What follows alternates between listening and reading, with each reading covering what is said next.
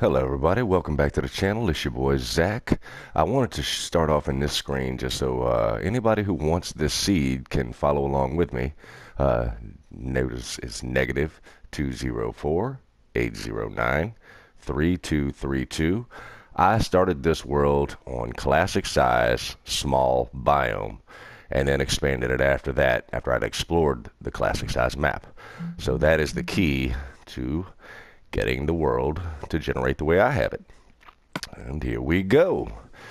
And uh, I wanted to go into today's episode basically just showing off a lot of the stuff that I've already worked on since our last episode. Uh, and it's kind of going to be a seed showcase. Uh, so this way, instead of going into a seed and seeing the stuff, uh, but then, you know, you get the coordinates, but then you're not really sure where it is or, or whatnot. This should make things a little bit easier. Uh, do I have a map anywhere? Hmm. A map, a map, a map. Well, I can make one, so that's not a big deal. Uh, let's do that real quick. Uh, we're gonna need what iron. Oh, I need this too. Gotta take it with me. Uh, we have something special lined up for that uh, iron, redstone, and a compass. Well, I have all those things. So let's just get it all together. Oh no, not not iron, redstone, and a compass. What am I doing? You sit. Put that back, put that back. I have the compass. Ooh, I have no more room for iron there. All I need is an empty map and uh, Oh wait, there we go. Bam. Let's just use this one. This will give off all the coordinates that we need uh, to find things. Okay, we, we, we should not have done that. Okay. Now, back, back to what we're doing. So let's start by going over here. Now, I don't know if you guys remember this, uh, but I changed it up a little bit. Uh, we no longer have the enchanting station in here it's basically a little brew shop, a little coffee stand. You can get some potions. And then you can go down here. And here is where I'll do my enchanting. And then that is still a work in progress. We're not going to go down there. But yeah, full enchantment setup, anvil, all the good stuff. Uh, I figured I'd have that over in here. Let's take that bone out, close it back. Voila. So let's put this in our hand so we can wander around with our coordinates. So right now you can see this is the main map. This is the starter map of the classic size. So this is the very edge of the map. And if I go to any of the spawners that I found over here, we do get off the map. So you would need to expand the world before you actually got to the uh, skeleton spawner that I have over here. But we'll go visit it real quick before we continue on our journey. So I know you guys will remember if you've been watching the videos. Uh, this is the one that I decorated to look like an actual skull on the inside. Let's go down and down and down. I'm going to work on the interior here more, but we got caught up with the double skeleton spawner, which we'll get to here in a minute. Okay, so as you can see, the coordinates for this skeleton spawner are what, negative 589, 42, negative 305. It's really hard to see, but that is the coordinates for it. And that is this skeleton spawner that's behind this wall. So uh, you can kind of do the math there. And let's get out of here and continue on our path. Go find some more stuff. So like I said, this this is sort of a seed showcase, but instead of just showing you, you know, a barren map, I figured I'd show you what all you could have if you just know where to look. So let's fly over here. And actually we'll go visit this area.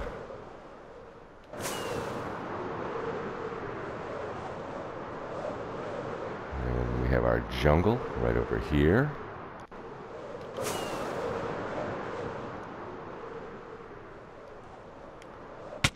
Uh-oh. Ouch. Uh, we'll just go in there. Hopefully we don't die from any uh, rogue bad guys in the area. This place is always a danger. We have lots of pandas over here. Uh, pandas were spawning in the area once I found it, but I, of course I didn't come over here until after the update. So uh, as far as the bamboo is concerned, uh, I found it in another area of the jungle and brought it over here and fed the pandas. So as you can see, the jungle is in uh, just north of the main map, uh, roughly negative 202, 97, negative, Lord, I cannot read that, 804, looks like. So that's where the jungle is in this map. Once again, you won't have it on the original map. You'll have to expand the world to get the jungle. And then if we just take off over here, come down this way, you can see there's another spawner here, which I found. This was a zombie spawner, I believe. Let's see, you gotta follow the cobblestone, the moss stone landmarks. That was how I figured it. And I've still been digging this one out. Uh, it is not a functional spawner trap or a functional grinder, if you will. Not yet. But there it is. So, zombies. For those who want that. But of course, if you're on the main map, which we'll get to here in a second, uh, there's a the, probably the best zombie spawner you could ask for because it is uh, above ground. Is it this way? Yeah. So let's get on out of here. And let's continue on our little trip. Is that a riptide one? Good. We're going to need it. Let's get in the water and take off. And over here is where the double spawner is, and this is a massive tree that I built for no real reason other than just to build a giant tree. And that is a giant tree, and I have a little story about that. Uh, I was flying over the area during a lightning storm once, not that long ago, and on top of that tree were the four horsemen. And for those of you that don't know, that was uh, four skeletons on skeleton horses, and all the skeletons are armored up and uh, looking to kill you. And out of all that, I actually killed them and saved one skeleton horse, which I then rode home. It was a long and crazy journey through the ocean. Literally, I had to ride the horse through the bottom of the ocean, and uh, that was strange. But we made it, and uh, we'll go visit Lucky in a second because that's his name. Uh, now here we have the double spawner. So right behind this wall is a double spawner. Uh, let's see if we can read it. Negative 37, uh, 39, negative 508. That is the coordinates for this. And it is a double skeleton spawner. See? See? See? See? Very cool stuff. Oh no. Where did that block go? Where did that block? Okay. Sometimes that really can mess you up. So the double skeleton spawner was really probably one of my favorite discoveries uh, because it has brought me tons of XP and tons of bone meal. And the bone meal has been uh, great to uh, further enable me to get a working sugarcane farm and lots of uh, bone meal and golden armor and stuff. Now the cool thing about these spawners, and I'm going to show you, is that you get these rare drops every once in a while that have double enchants. Like see the Unbreaking 1, Unbreaking 1, or Unbreaking 2, Unbreaking 1. Obviously you can't you can't get that through regular enchantments. Same with uh, like this, Blast Protection and Fire Protection uh, fire protection, and regular protection. Look at this one. Two unbreakings and two protections, both level 2 and level 3. That's just a rare one. Uh, and then projectile and blast protection. So those are rare uh, which I'll probably fix up and save and put somewhere uh, on an armor stand just to kind of have as a trophy. Oh, wait, and before I do that, let me show you my version of a sugarcane farm. so it works off of uh, basic, you know, observers and pistons extending, breaking the sugarcane. Uh, however, I went one step further, and whenever I really want to kick it up a notch, I put some dispensers and I fill them up with bone meal, which I am not going to do right now uh, because I have no use for it uh, because I have all the sugar cane that I am going to need for a while. Uh, but yeah, that thing just super pumps out sugarcane. And I'm going to turn this into an automatic bamboo farm. It's going to extend much further back uh, and look a little different, but that'll be an auto bamboo farm. Then we'll have the auto sugarcane. I'll probably do an automatic kelp farm back here. Basically all the plant life. We'll do a melon farm. We'll do a, a pumpkin farm. Uh, we're not going to do wheat, carrots, and potatoes because I think those are better uh, in overworld farms rather than this little underground base. So back to exploring. Uh, let's get out of here. It looks like it is dark. So uh, we'll take a nap. Or should we just brave it? Let's just brave it. You know what? Let's just let's just go for it. Let's just take off running.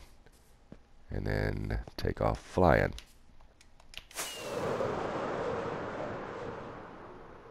So let's fly this way. Over the bridge. Over here to our next thing we've been working with. This fantastic iron farm. Which has definitely uh, made life a little easier. So uh, I've already been crafting a lot of the iron into blocks. But yeah, usually what I'll do, which I'll probably do today, is I have to go to work. The kids are in school.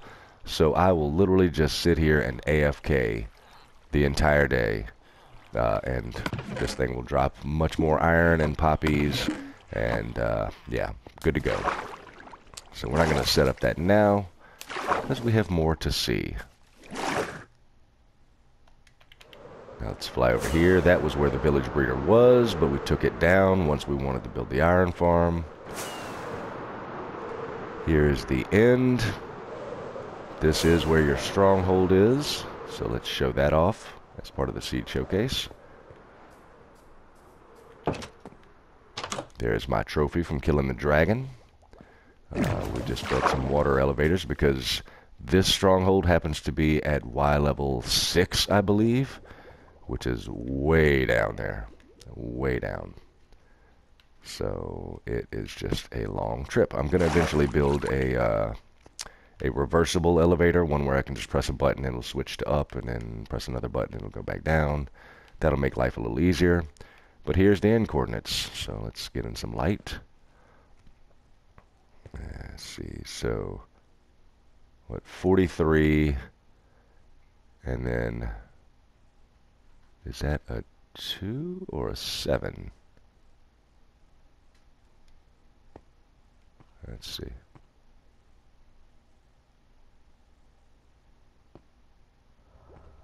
It is hard to read that. I think it's... Oh, man. I wish I had a better map. But, yeah, you can tell where the stronghold is. It is 43. Uh, man, one 124, 125, and Y level 5. So 45, uh, 45, 6, 125. That is where roughly this stronghold is. So it's way down in the world, way down in the bottom here. Uh, definitely suggest making a water elevator to get yourself up and down in the long run because it will take a while to travel. So now let's continue on our journey. We'll go the old school path. Just follow the follow the walkway I built, and we're going to eventually make this a little nicer. Uh, it'll have more amenities. You can see the fire tower coming up, uh, which once campfires become a thing on the PlayStation, we're definitely going to be uh, adding some netherrack and some campfires to the top of that so it's actually producing flame. But I don't want to do that until then. Because there's nothing worse than, you know, building up a bunch of cool stuff and then having to tear it all back down because they added cooler blocks or cooler features. And that temple will eventually uh, grow as well. Uh, but not up. It'll actually grow down into the ground as part of the lore for defeating these evil beings of the night.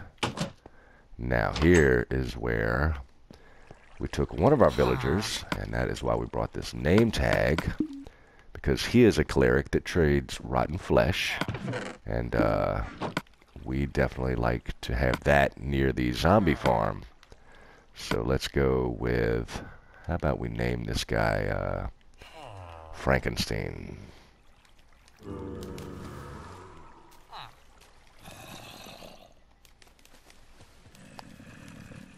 Frankenstein.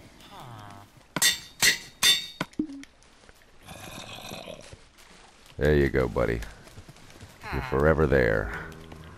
And he is awesome to have over here because uh, he has a pretty good rotten flesh trade as well as a gold trade, which both of those things are free right here. So let's uh, let's give an example. Let's let the rest of these come down. Kill.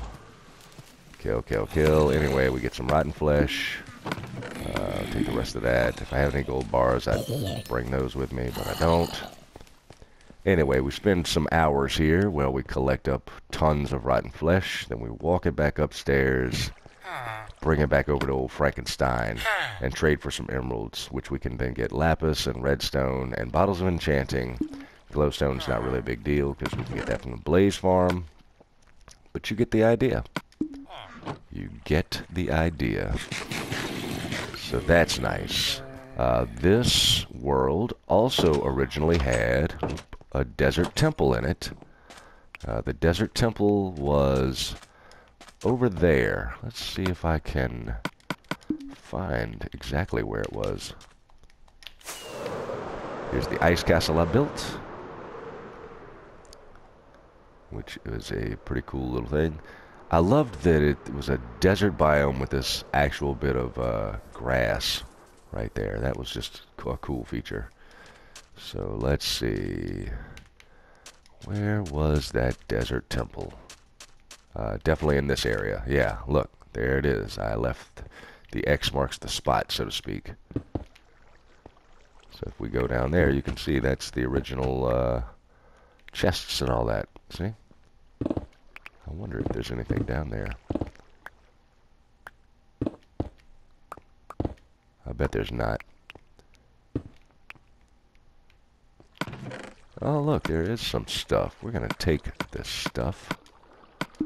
Because uh, we didn't have a use for it in the beginning, but we got a use for it now.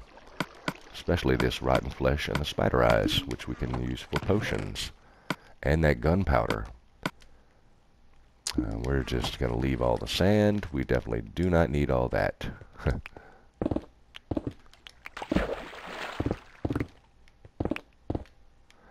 we know that's pretty much a death trap in there, right? So we should never come back here again.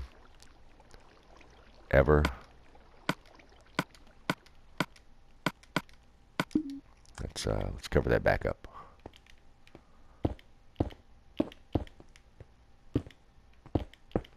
And leave the one marker where we know where it is. As usual. There we go. And I think, aside from the things that uh, we have, but we just don't go visit very often. Let's see. Let's fly over this way.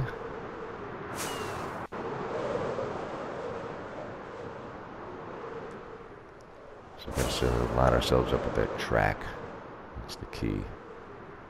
Okay, so it's right there. This way.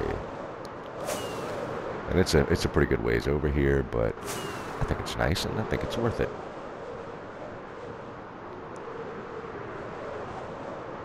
Just keep flying this way. And at some point you'll see something that's familiar.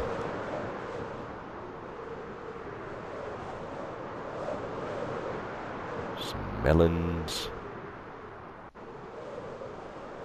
And this looks right, huh? You guys know what this is, huh?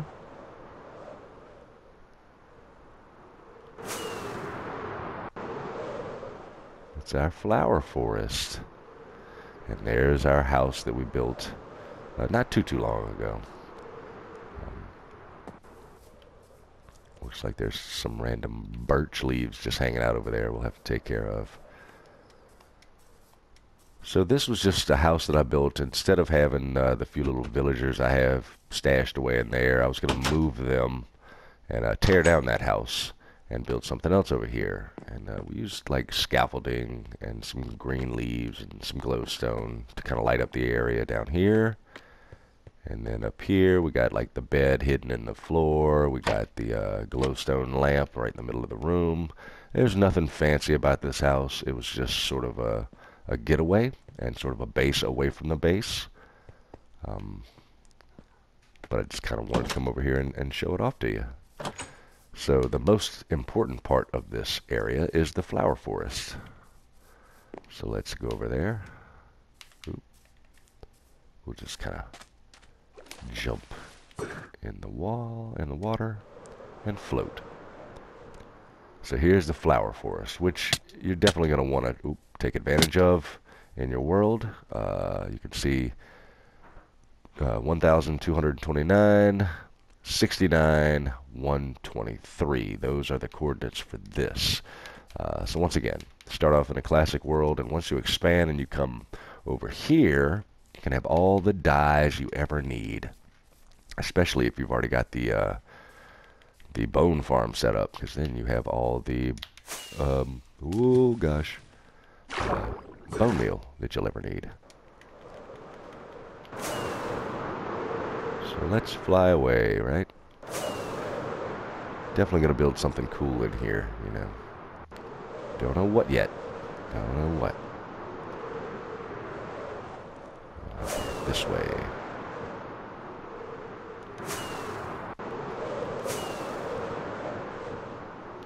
Let's get a little height, and we can just pretty much glide our way back down.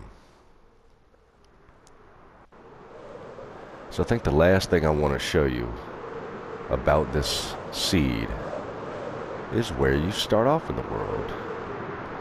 Because, uh, like that zombie farm that I showed earlier, that is on the main island. Uh, here's the coordinates for it. And it is literally right beneath me. I mean, it's above ground. It's right beneath me. 258 79 and I'm at Z4 but you know that that's the important part. So you got that. You got the zombie farm. Uh, there's a few other uh, spawners uh, located in the area. I can assure you of that. Oh there's also an abandoned mine shaft. There's a couple of them actually. The first one is right here.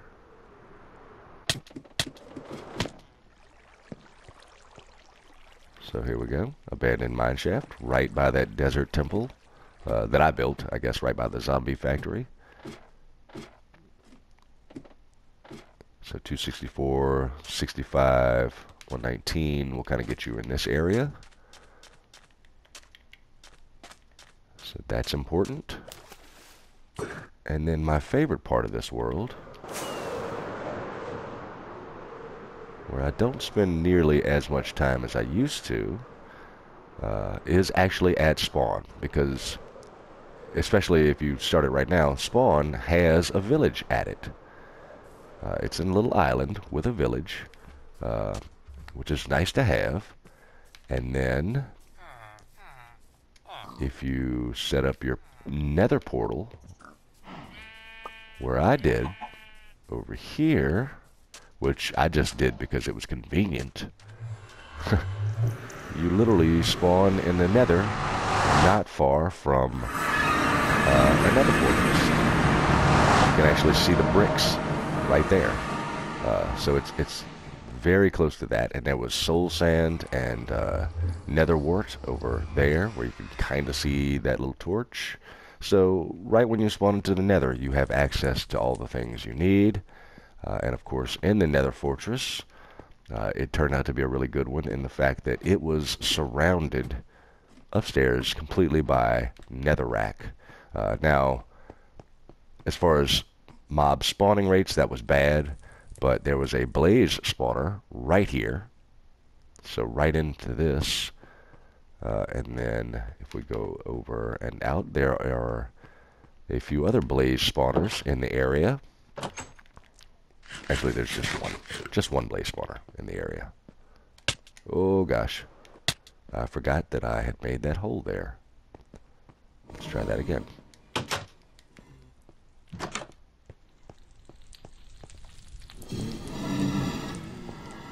Hopefully there's no uh, wither skeleton. Actually, let's hope there are wither skeletons waiting for me over here. Because I need some more heads. Hmm. Break out the old bow. Can I get you from here? Ooh, yeah, what a shot. What a shot. And that is a wither skeleton right there. Yeah, buddy. Yeah, come on. Come on. Come on. Come on. Yeah, did you drop a head? Drop a head. No.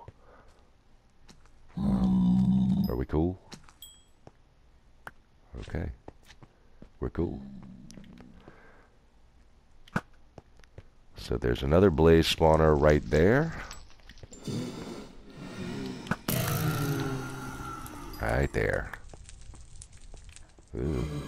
Let's not go that way. So there's literally two blaze spawners not far from where you spawn.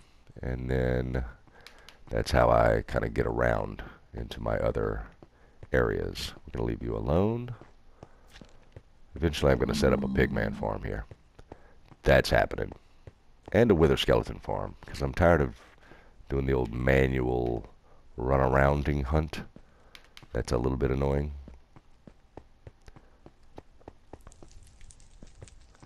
But yeah, so that is the world as you can have it. Uh, that was all the things I kind of wanted to show you. Now, there are other things like ocean monuments littered throughout the area. There is also, man, uh, shipwrecks. I've found at least three shipwrecks, maybe four. Uh, so there's that. Uh, there's just all kinds of good stuff in this world, man. Just plenty of stuff. And I found this through uh, through a YouTuber named Catman Joe. Go check out his videos. He's really, really cool guy, really informative. Are these guys angry with me or are they just checking me out? I don't I don't know. I don't know. Let's let's go over here. Let's let's check something out real quick.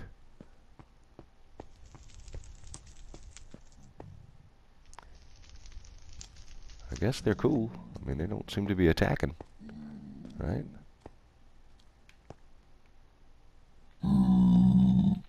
Okay. Alright, my dudes. Alright. There we go. Yeah, I know wood is probably not the best material to uh, be builded with here, right? it's not like this place is full of fire and death. And if you see where we come out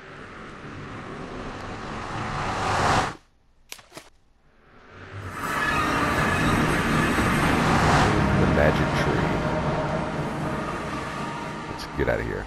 Oh, I forgot to show you guys Lucky. Oh, okay. We gotta we gotta go back and show Lucky. What is that down there? It's a chicken. Uh, stinking chickens. Any mine carts? Yeah. Let's take a ride. Let's go visit Lucky. And then we'll take off and end the episode at the base. Where it all begins. Where it all starts where if you decide to join into this world, look, you can see one ocean monument uh, over there, just in the corner, and then there's another one that way. It's really not that far.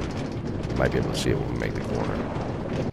Uh, well, that's a thing. Give me this.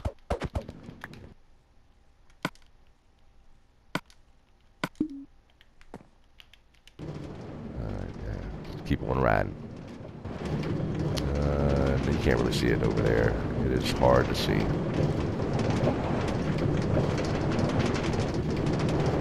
So in this, this, there's also a village right over there, I should say. Is on the main island. So there's at least two villages on the main classic-sized world map that you can access in the beginning. Now, what I would suggest is when you spawn, stay on that island. Stay over there, especially if you start it now, because the village and pillage update will inevitably make villages spawn differently, uh, preferably in that cooler style with the jigsaw blocks, and you don't want to mess that up. Uh, this one would be messed up because it would spawn before the update, but then you could always, uh, you know, just hang out here, build yourself up a nice little house, gain all the resources you can. Lucky, what are you doing, dude? Why are you out of the cage? Come on, let's get back in the cage. I do love me a Lucky man. He's he's a cool, cool horse. A little different than the rest of them a little bit different. That's okay. That's what makes him special. And I don't I don't know why you're out of the pen either, buddy. So that is my world in a nutshell. I hope you guys enjoyed the uh, little tour. Uh, I hope you guys come back and see me build some more cool stuff. I have a lot of really good plans for this world. Uh, some of the next ones will probably be a lot more time consuming. Uh, but things like we're going to finish off the main island into one massive base uh, that will extend over that way with sort of a little desert city going that way. Uh, it should be really awesome uh, because I've gotten to the point where I'm happy with a lot of the farms that I have. I have plenty of resources. Now we just need to build some cool stuff to explore, right? So, uh, anyway, check you later. Have a good day. Zach is out.